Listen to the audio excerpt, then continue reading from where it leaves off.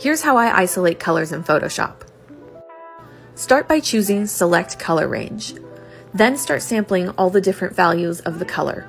In this case, it's red. After you have a good selection of the color, create a black and white adjustment layer and invert the new layer mask. Now option click that new mask and start painting everything that should not be red with a white brush. This allows you to clean up the selection in an isolated environment.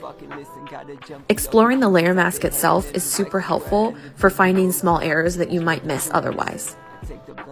Make sure that any areas that look gray and pixelated are brushed over with pure black.